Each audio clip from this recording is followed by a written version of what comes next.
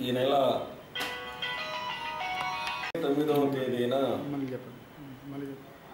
ఈ నెల ఇరవై తొమ్మిదవ తేదీన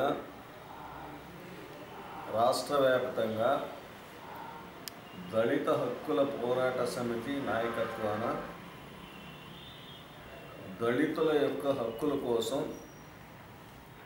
ప్రతి జిల్లా కలెక్టర్ ఆఫీసుల ముందు ధర్నాలు జరగబోతున్నాయి. దానికి భారత కమ్యూనిస్టు పార్టీ పూర్తిగా మద్దతు తెలియజేస్తూ ఉంది. రాష్ట్రవ్యాప్త కార్యక్రమంలో భాగంగా నెల్లూరు జిల్లా కలెక్టర్ ఆఫీస్ ముందు కూడా ధర్నా నిర్వహించబడుతుంది. దళితులకు సంబంధించిన భాగంలో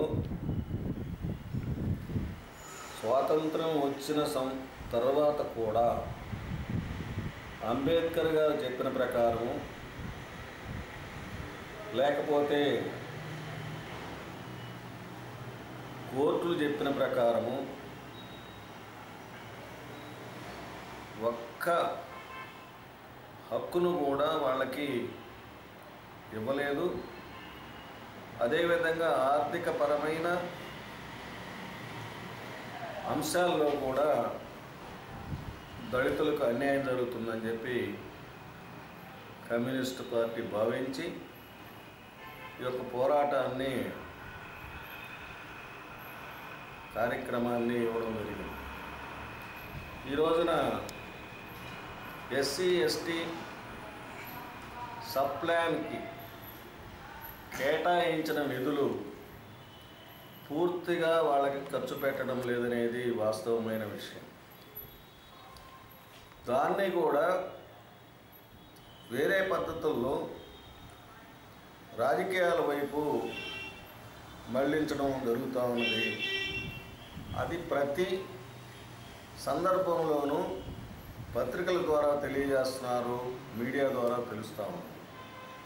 అయినా ఆ తప్పుని సరిదిద్దడం మాత్రం ప్రభుత్వం చేయడం లేదు. ఒకవైపున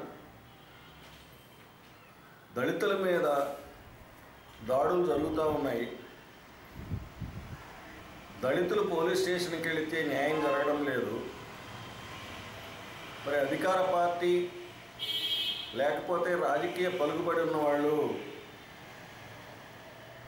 ఆ యొక్క కేసులంతా కూడా నేరుగా చేస్తున్నారు. దానికి తోడు పోలీసు వారు కూడా వాళ్ళకి సరైన న్యాయం చేయడం లేదనేది వాస్తవంగా ఉన్నది. ఉద్యమాలు జరుగుతున్నాయి దాని మీద. ప్రభుత్వం స్పందించడం లేదు స్పందించాల్సిన అవసరం ఉన్నది. అదేవిధంగా ఈ రోజున పేద వర్గాలు దళితులు చదువుకుంటున్న గ్రామాల్లో స్కూళ్ళను కూడా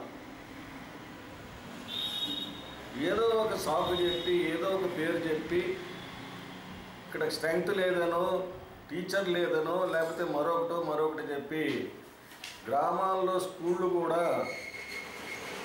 ఈ రోజున రద్దు చేసేసి వాళ్ళకి చదువు కూడా దూరం చేస్తూ ఉన్నారు. అదేవిధంగా దళిత మహిళల మీద జరుగుతున్న అత్యాచారాలకి న్యాయం జరగడం లేదు. అందువల్ల న్యాయం జరిగేంత వరకు పోరాటం సాగించాలన్నది కమ్యూనిస్ట్ పార్టీ. అంబేద్కర్ చెప్పిన ప్రకారము ఐదు ఎకరాలు భూమి ఇవ్వలేదు ఐదు సెంట్లు ఇంటి స్థలం ఇవ్వలేదు ఉచిత విద్య అందించలేదు ఉచితంగా వైద్యం అందించడం లేదు. మరి సమాజంలో వీళ్ళని అంతా ఒకటిగా కలిపి ఒకే దగ్గర కాపురం చేసుకునే అవకాశం కూడా లేకుండా ఉన్నది. కడకు చనిపోయిన తర్వాత శ్మశానం కూడా మీది అక్కడ ఉంది ఆ శ్మశానం అని చెప్పి చనిపోయిన తర్వాత కూడా మా అందరూ పూడ్చుకునే శ్మశానంలో పూడ్చుకునే అవకాశం కూడా ఇంకా ఈ దేశంలో లేదంటే ఇది ఎంత దారుణంగా ఉందో ఒకటూరి మనం ఆలోచించుకోవాల్సిన విషయం.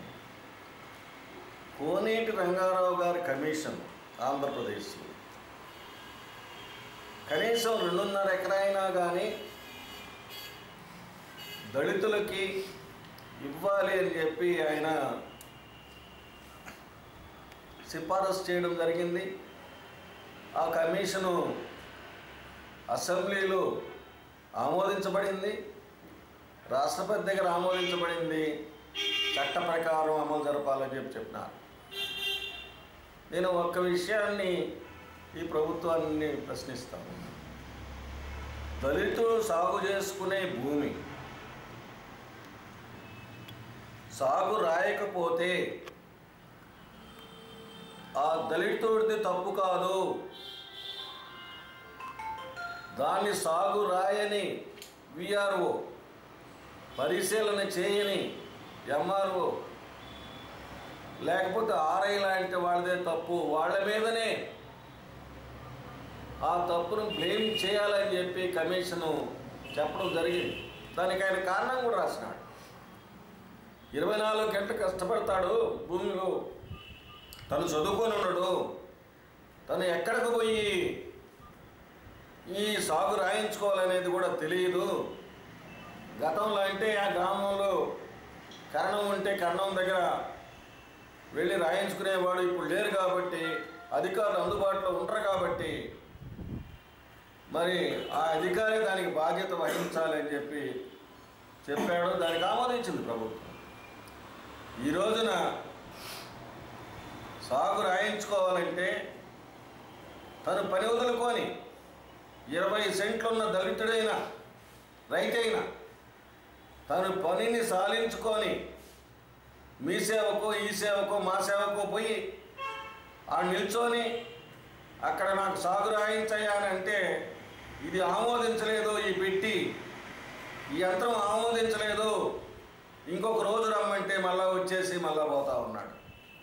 అక్కడ ఆమోదించేది లేదు. ఎందుకంటే నీకు పట్టా లేదు నీ పట్టా నంబర్ లేదు నీ ఖాతా నంబర్ లేదు నీ శిస్తు రసీదు లేదు. అని ఏదో ఒక సాగు చెప్పి ఈ రోజున మన జిల్లాలో కొన్ని వేల ఎకరాలు సాగు రాయకుండానే పేదవాళ్ళు దళితులు సాగు చేసుకుంటానే ఉన్నారు. ఈ రాష్ట్ర ప్రభుత్వం భూదాహంతో ఉంది కాబట్టి నీ పేరుతో సాగు లేదు ఇది నీ భూమి కాదు అని చెప్పి పరిస్థితులకి వచ్చింది. అట్లా చాలామంది చిన్న రైతులు దళితులు ఇబ్బంది పడుతున్నారు. అందుకోసం కమ్యూనిస్ట్ పార్టీ ఈ జిల్లాలో ప్రత్యేకించి పేదవాళ్ళు సాగు చేసుకుంటున్న ప్రతి సెంటుకి వెంటనే సాగు రాయించాలి సాగు రాయాలి ప్రభుత్వ అధికారులు. లేకపోతే కోనేటి రంగారావు కమిషన్ ప్రకారం మీ మీద ప్రభుత్వం చర్య తీసుకోవాలి అని చెప్పి కమ్యూనిస్ట్ పార్టీ డిమాండ్ చేస్తూ ఉంది. వాటన్నిటి కోసం ఎల్లుండి జరిగి కలెక్టర్ ఆఫీస్కి దళితులందరూ కూడా వచ్చి ఇతర ప్రజలు కూడా వచ్చి ఆ కార్యక్రమాన్ని జయప్రదం చేయాలని చెప్పి భారత కమ్యూనిస్ట్ పార్టీ నెల్లూరు జిల్లా సమితి కోరుతా ఉన్నా. ఇరవై తొమ్మిది జూన్ రెండు వేల పదిహేడు అంటే రేపులో ఎల్లుండు ఆంధ్రప్రదేశ్ దళిత హక్కుల సాధనా సమితి ఆధ్వర్యంలో ఆంధ్రప్రదేశ్లోని అన్ని జిల్లా కలెక్టర్ కార్యాలయాల ముందు దళిత హక్కుల సాధన కోసం ధర్నా చేస్తున్నాం. ఈ ధర్నాలో వేలాది మందిగా పాల్గొనవలసిందిగా కోరుతున్నాం. మనకు స్వాతంత్రం వచ్చి డెబ్బై సంవత్సరాలైనప్పటికీ నేటికి కూడాను ఈ దళిత బలహీన వర్గాల్లో ఏ విధమైనటువంటి జీవన ప్రమాణాల్లో మార్పు రాని కారణం చేత ఇప్పటికే మన రాజ్యాంగంలో అనేక హక్కులు కల్పించినప్పటికీ కూడాను ఆ హక్కులు సక్రమంగా అమలు కాకపోవడం ద్వారా అనేక వేల మంది సొంత ఆస్తి కలిగి లేరు సొంత ఇల్లు కలిగి లేరు. అలాంటి అన్ని సమస్యలు ఆత్మగౌరవంతో బతకడానికి ప్రతి ఒక్కరూ తన సొంత ఇల్లు లేక సొంత భూమి ఉండాల్సిన అవసరం ఉంది. ఆ వైపున ప్రభుత్వం అనేక కమిషన్లు వేసి తీర్మానాలు చేసింది. ఏ కమిషన్ తీర్మానాన్ని కూడా సక్రమంగా అమలు చేయలేదు. అలాగే కొంతమందికి భూములు ఇస్తారు పట్టాలు ఇవ్వరు కొంతమంది పట్టాలు ఇస్తే భూములు చూపిరు. ఈ పద్ధతుల్లో దళిత బలహీన వర్గాల వారిని ఇబ్బంది పెడుతున్నారు. అలాగే ఆర్థికంగా వెనకబడిన వారిని ఇబ్బంది పెడుతున్నారు. ఈ అన్ని అంశాలను ప్రభుత్వం దృష్టికి తీసుకొచ్చి తమ సమస్యల సాధన కోసం పోరాటం చేయడానికి శుద్ధ విద్యుక్తం అవుతూ అందులో భాగంగానే ఈ నెల ఇరవై ఏడున కలెక్టర్ కార్యాలయ దిగ్బంధన ఇరవై తొమ్మిదిన.